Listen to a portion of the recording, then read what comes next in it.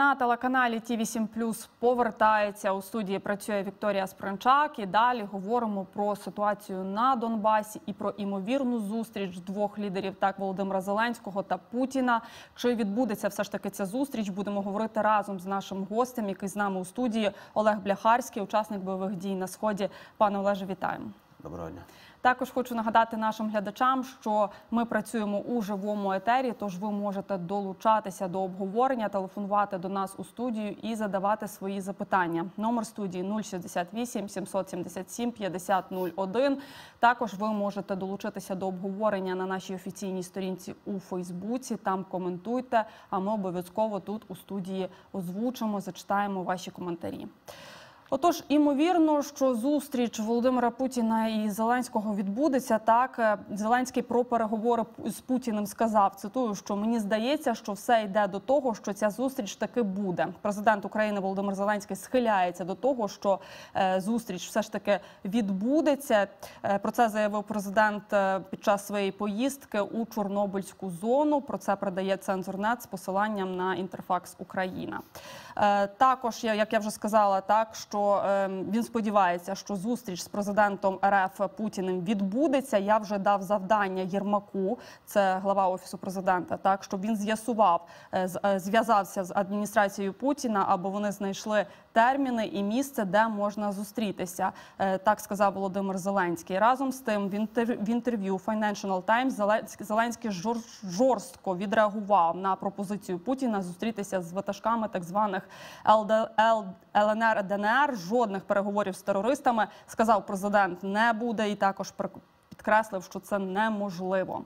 Е, Нагадаємо, президент України Володимир Зеленський у зверненні 20 квітня запропонував е, Путіну зустрітися у будь-якій точці Донбасу, де йде війна.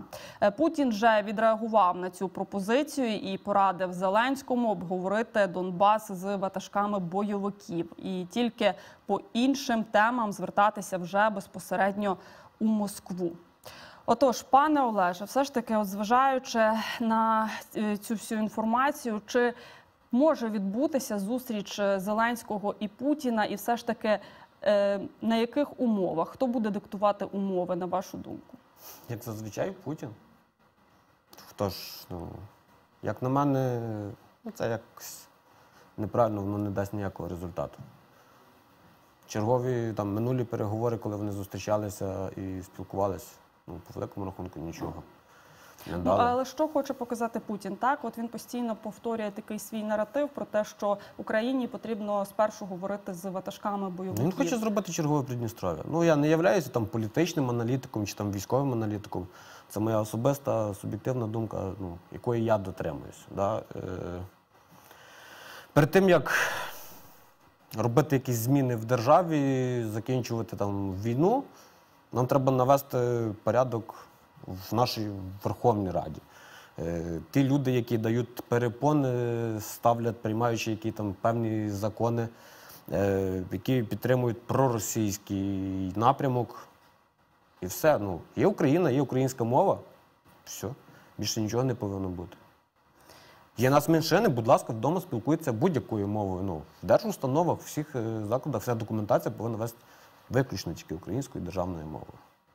Якщо говорити все ж таки про цю потенційну зустріч, так Путіна і Зеленського, яка все ж таки може відбутися, е, що це нам дасть? Чи можна це можна це говорити е, в тому контексті, так що якщо Путін буде брати участь у цих переговорах, то він якось і визнає е, себе і Росію учасником оцих бойових дій, так які ми маємо учасником війни? Ну так ну, він не визнає. По одній простій причині, ну, світова спільнота змусить його заплатити компенсації, відбудувати е, весь е, зруйнований Донбас, е, підтримку терористів. Його визнають просто головним терористом, де номер один в світі після Усами Бен Ладена чи других інших арабських ватажків. Тоді для чого, власне кажучи, ця розмова взагалі? Ну е, Путін готовий говорити з Зеленським на будь-яку тему, так крім Донбасу. В той же час е, Зеленський гучно заявляє про те, що готовий зустрітися з Путіним, так і на будь-якій точці Донбасу, і е, вже йому не важливо, чим то Москва, тобто місце зустрічі йому не важливо. На вашу думку, це такий піар-хід Зеленського, так показати, що він все ж таки хоче завершити війну, тому що він і обіцяв, коли йшов на пост президента, що його основна мета, головне завдання це завершити війну на Донбасі. Е, Чи все ж таки він намагається якось все ж таки такими діями е, щось зробити? Я вам поясню одне, ну, це моя черговий раз особиста, е, моя, особиста думка. Петро Олексійович також обіцяв закінчити в короткі терміни війну. Да? І що сталося? Ну, вже добрий вже восьмий рік да? йде війна. І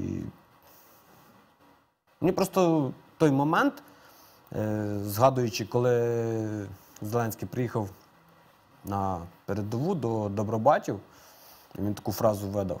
Я же не лох, мені 42-й год. Я тебе сказав, убери оружие. Ну, забрали зброю. Наші хлопці гинуть далі.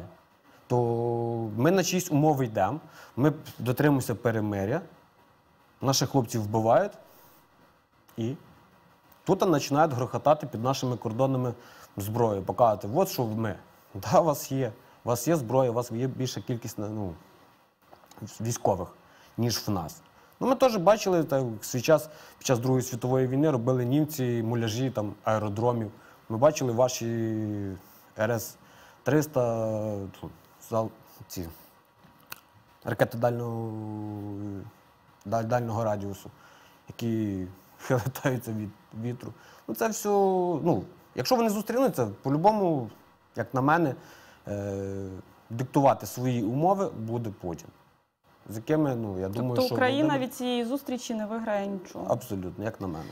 Все ж таки, Олеже, так ем, ви учасник бойових дій, і от ми пригадали так, що з вами ще на початку власне там цих активних Серпень бойових місяць, дій. Так, це здається, 15-й був рік чи 14-й рік. 14 Е, після Ми з вами бачилися, познайомились там на сході країни, так і е, вже після вже з того часу минуло багато років. Е, ви особисто, коли йшли на війну, ви як гадали, як скоро це все можна буде завершити? І зараз, вже зважаючи на те, що минуло стільки років, ви розчаровані? Да. Чесно, я розчарований Савковщиною в нашій армії. Е, то, що ну, зневага в першу чергу, да? е, немає професійного кадрового відбору да, до солдат кадрової служби. Ну, основна маса того всього залишилась. Сергій Григорович Кривонос. Але ви йшли з яким посилом? А серцем, да, я пройшов Майдан, я на Майдані вже бачив смерті, да, я ну, свідомо залишивши свою, на той час в мене була дружина, е, два з половиною роки дитині, я навіть не задумався над тим, що, чи йти, чи не йти. Я прийшов до військкомата, сказали, там, на таке таке число зібратися, я зібрався і попав той самий восьмий полк, де я служив. Там, ну, щоб ви собі розуміли, там перша, друга, третя хвиля це люди, які, ну, не задумуючись ні на, ні на секунду, е, вони йшли добровільно захищати, боронити свій край, свою країну. Тому що ну, люди, які давали присягу на вірність народу України захищати територію України, ну, я гадаю, що так і повинні були вчинити всі, хто давав цю присягу, а не переховуючись десь там. Зараз туди їдуть, як на мене, ну я не хочу нікого образити. Да? Е, основна маса, я, що я, я чув, це люди, які ще давно підписали контракт, вони ну, їдуть, служать, повертаються, бо вони, крім того, що тримати зброю в руках не, не вміють. А є люди, які відверто говорять, що та, я їду отримати учасника бойових дій, е, отримати 2 гектари землі і мати якісь пільги. Ну, і я їм просто задаю, а де ви були там в 2014 році, з 14 там, по 15-16 рік. Коли вже трохи притихло, що ви там зараз не ведуться такі інтенсивні бойові дії, як велися на початку 2014 року. Ну чому ми маємо тепер таку ситуацію? І чому ми все ж таки Генерали-зрадники. Генерали-зрадники, наші хлопці були і вже на околицях міста Луганська, Донецька просто поступали команди, що ви повинні відійти, вас на все, про все буквально доба. Ну, там можна було швидко все зробити. Ну, всі ж є люди, які зацікавлені. Кому війна, кому мать рідна, як то кажуть. Е, Все ж таки, ви кажете, зробити швидко. А які про які би втрати йшлося з нашого боку? А я гадаю, що за цей проміжок часу ми не менше втратили, ніж ми могли би втратити. Ми на той час могли би, можливо, і менше, з, малими жертвами. Тому що на той час в них не було такої кількості броньованої техніки, важкої, як танки, не було в них БТРів, БМП, в них не було артилерійських засобів. Ну, а якби. Росія регулярну армію відправила От до нас? якби, да, то, то тоді ми б вже бачили дійсно, да, і було б якесь певне підтвердження. Ми і так знаємо, що російська регулярна армія воює. Це ж е, всі прекрасно знають і розуміють, і дивлячись е, людей, які роблять аналізи по соцмережах е, російських військових, геодані порівнюють, то вони тільки і там. Навіть є, є ж е, відео, як брали танкістів наші хлопці з Донбаса. Регулярно, ну як заблукали. Десантники, які заблукали в наших степах Луганщини. Ну то це як так, хлопці? Ви що, не користуєтесь ні картами, нічим? Зараз ж засоби є, де можна перетинати. Видно, перейшов ти чи не перейшов. Ми, ми в свій час, е, коли робили розвідку під кордоном з Росією в Сумській області, у нас була GPS-навігація, і коли ти проходиш, там тобі вже показують, що доброго дня, ви вже на території Росії. Але все ж таки так зараз в Україні намагаються вирішити ситуацію на Донбасі е, дипломатичним шляхом. Так, от зокрема, Зеленський знову ж таки закликав змінити мінські домовленості і розширити нормандську четвірку. Про це він заявив в інтерв'ю Financial Times. Е, Я зацитую його: я беру участь у процесі, який було розроблено ще до мого приходу, сказав Зеленський. На думку е, президента, мінські угоди недостатньо гнучкі і не відповідають сьогоднішній ситуації. Він сказав, що бачить два виходи: або змінити їх, або відмовитися від них е, і прийняти якийсь взагалі інший формат мирного врегулювання. При цьому Зеленський закликав діяти швидко, тому що ми щодня втрачаємо людей, сказав він. Також президент України запропонував розширити і поглибити нормандський формат мирних переговорів, до якого зараз у якості посередників між Україною і Росією залучено також Францію та Німеччину. Е, На думку президента, так четвірка могла б стати сімкою, додавши США, Канаду та Великобританію. Е, той же час знаємо, що в Росії відреагували вже на ці заяви Зеленського і сказали, що це такий тривожний дзвінок, тобто мінський формат не може бути змінений взагалі. Е, Як гадаєте ви, чи е, взагалі, якщо б така схема спрацювала, як каже Зеленський, е, і ми б залучили до нормандського формату ще країн США, так Великобританію, Канаду, країни, які нас активно підтримують, в принципі, у цій боротьбі з Росією, чи щось би змінилося тоді, і як би змінилася риторика Росії е, в цьому контексті? Знаєте, як на мене, то я би змінив би формат тим, щоб ми, нам би відновили статус ядерної країни. Тож був би зовсім інший формат. І тоді, Ну, ми розуміємо, що зараз це не, не ну, правильно, ну, країни, які нам гарантували, одна на нас напала, другі відчікується Крім Америки. Ну, по великому рахунку, там не, не дуже сильно вони нам допомагають ні там, матеріальному чи там, в озброєнні. Ну, ви ж, Ну в той же час вони говорять, в них є чітка е, позиція, що вони підтримують Україну. Якщо говорити так про тих же учасників нормандського формату, тобто Німеччина і Франція, от, наприклад, Німеччина так е, от напередодні заявила, що вона не підтримує посилення санкцій проти Росії. Так само Франція має таку стриману позицію. Ну тобто, тут ми не бачимо твер, твер, твердості у їх кроках. Ну а якщо говорити про США, так Британію, Канаду, то вони заявляють про те, що вони підтримують е, Україну твердо. Так, це їх Ну, тверда так це і видно, що прийшовши до влади Байден, так, дуже чітко все, мені, мені до вподоби його напрямок по відношенню до України, що співпрацею дуже гар, ну, гарно це все проходить. Так само був, як він. Неважливо. Е, то Ні, зроз- зрозуміло, зрозуміло, що на фронті ми з ворогом один на один, так, але мова про те, е, як вони можуть нам допомогти, що зміниться. Ну, Е, ну тільки санкції, тільки санкції можуть вбити Росію, розколоти її на куски. Ну зрозумійте одне, що от німці проти санкцій, та Е, по одній простій причині. Ну, в них взагалі така досить е, м'яка політика Е, стосовно ну, у них м'яка, політика, тому що вони в черговий раз вони залежні е, від газу російського. Якщо зараз перекрити Північний потік 2, якщо його не добудувати за закрити, заморозити, ну, обмеження будуть там на виробництвах в них. Ну, в них сві, свої зацікавлення. Вони вроді би, і ми за Україну. Ну і ми не хочемо, щоб е, з Росією втрачати якісь е, певні свої стосунки. Ну я в черговий раз говорю, я не являюся там політичним аналітиком чи військовим. Я просто людина, яка вміє тримати зброю, і при потребі, якщо буде загострення, в черговий раз возьмусь за зброю і піду захищати свій край. Ну, Олеже, на, от, на вашу думку, е, все ж таки, що нам потрібно, аби завершити війну на Донбасі? Що нам бракує? Е, Чим зможемо ми це зробити якимось мирним дипломатичним шляхом, шляхом зміни формату, розширення тієї самої е, то- того самого нормандського формату і залучення штатів, так Британії? Чи все ж таки це тільки, тільки ми зі зброєю в руках зможемо відстояти свою територіальну цілісність? Знаєте, як на мене, то я можу грубо вискажусь, ну в нас повинен бути керівник з великими яйцями, який міг би сказати, що от я, я буду робити так.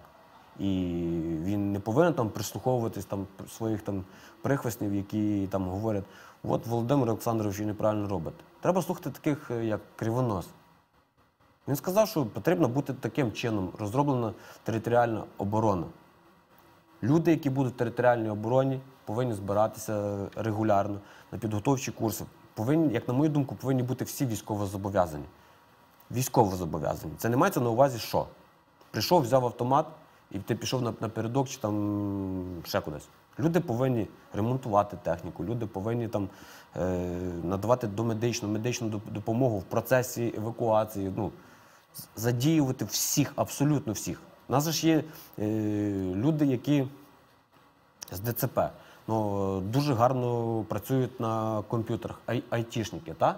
Чого їх не залучити до безпілотних літальних апаратів, щоб люди навчалися, щоб вони ну, могли працювати. Але тут питання, чи б хотіли вони долучатися? Повірте мені, якщо є патріот, то хоч він, е, будемо говорити, з фізичними вадами, е, чи людина там з інвалідністю, вона е, буде е, працювати. Коли в 2014 році мені прапорщик Полонський, як санінструктор, дав пакетик е, з ліками, то щоб ви собі мали на увазі, там мама з дитиною-інвалідом першої групи ДЦП міста Київ вона підписала це ми вам зі своєї пенсії надаємо таку допомогу. Дякуємо вам. Знаєте, то є все рівно люди, які готові. Якщо люди не готові воювати за цю державу, значить ми тоді повинні ставити питання е, на Верховну Раду, що в нас є громадянин України і просто житель або не громадянин України. Тому що ну, всі голосують. Я за Україну проти України, я йду, роблю якийсь певний свій вибір. Ти повинен робити вибір в сторону України, а не в другу якусь сторону, там, тягнутися до Росії, чи там, до Білорусі, чи до Молдови. Є Україна. А вже будемо думати, вже як політики будуть наші тягнутися до тої чи іншої країни. Ну повинні тягнутися в першу сторону до тої країни, яка дружелюбна з тобою, яка тобі подає руку в тобі важкий час. А не коли в важкий час ми хочемо атакувати, віджати кусок землі, тому що ми хочемо правити на всій, ну, будемо говорити, євроазійській частині. Ну і все ж таки так мали от напередодні таке тотальне скупчення російських військ біля українського кордону. Так і зараз вже е, Росія почала відводити свої війська. Е, І, зокрема, весь світ спостерігав за цими подіями, так і, і самі українці думали, що ж що ж відбувається, чи буде повномасштабне вторгнення. І все ж таки так е, заявив е, міністр оборони Росії Сергій Шойгу, що е, війська російські від, будуть відводити так з районів поблизу українського кордону. Чи можна взагалі вірити заявам Кремля?